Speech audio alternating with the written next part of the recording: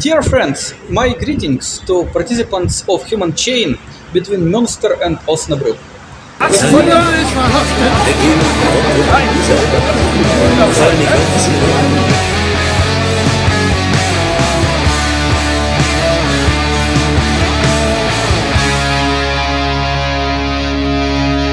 Wir mit Blei und Dynamit. Für Vaterland und Kapital, für Kaiser und Profit.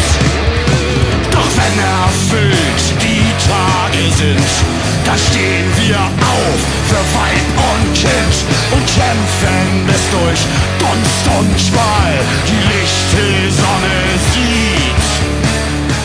Weil er einen Brief an den Präsident Zelensky geschrieben hat, steht er in, der, in seiner Wohnung unter Hausarrest in Kiew.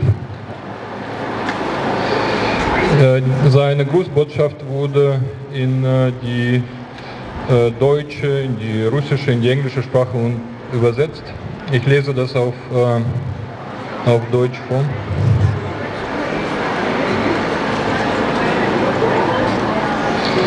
Liebe Freunde, Grüße aus Kiew. Warnungen vor Luftangriffen, kalte Schutzräume in der nächstgelegenen Tiefgarage und tragische Nachrichten über neue Todesfälle sind mein Alltag unter dem Kriegsrecht während der verbrecherischen russischen Invasion der Ukraine.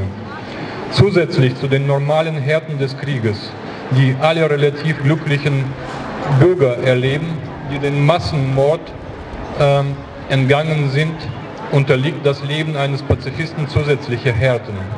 Ich spreche dabei nicht nur vom täglichen gewaltlosen Widerstand gegen Krieg und Militarismus in Worten und Taten, von der Last der Verantwortung für eine bessere Zukunft, die vom Gewissen und dem Engagement einiger weniger Enthusiasten abhängt, die es wagen, in einer freundlichen Umgebung von einer Welt ohne Kriege zu träumen und dafür zu arbeiten. Schmerzlicher ist, dass der Traum vom Frieden unterdrückt wird, dass Kriegsdienstverweigerer inhaftiert werden.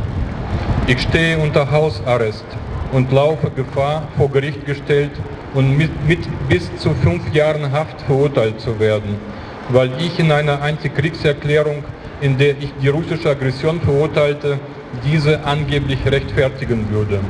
Mein Brief an Präsident Zelensky sei gefährlich, sagen sie, weil gewaltloser Widerstand eine Utopie sei und die Armee Kriegsdienstverweigerung nicht akzeptieren könne.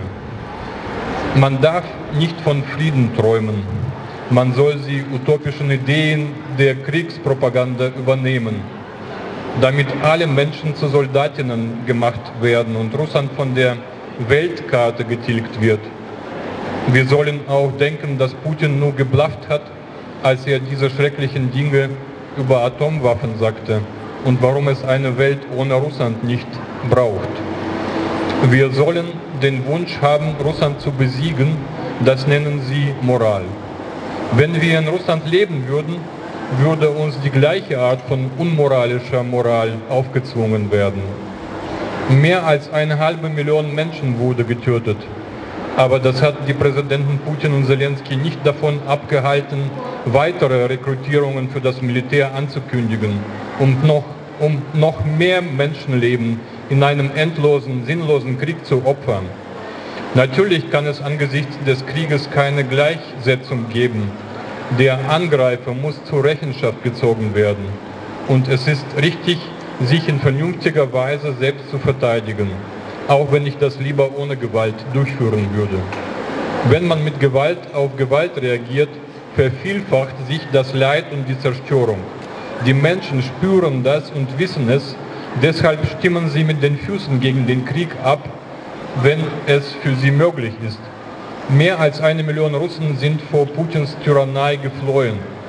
Ganz zu schweigen von denen, die vor seinem ebenfalls schuldigen Diktator Lukaschenko aus Belarus geflohen sind.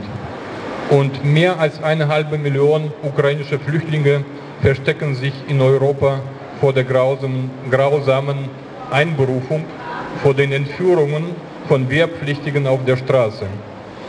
Jeder Mensch, der vor dem Fleischwolf des Krieges gerettet wird, ist ein Triumph des Lebens und ein Schritt in Richtung Frieden.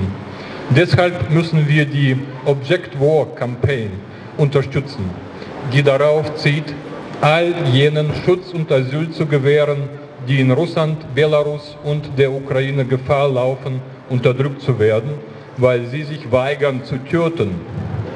Das Recht, das Töten zu verweigern, ist absolut. Denn das Leben und die Würde des Menschen sind heilig.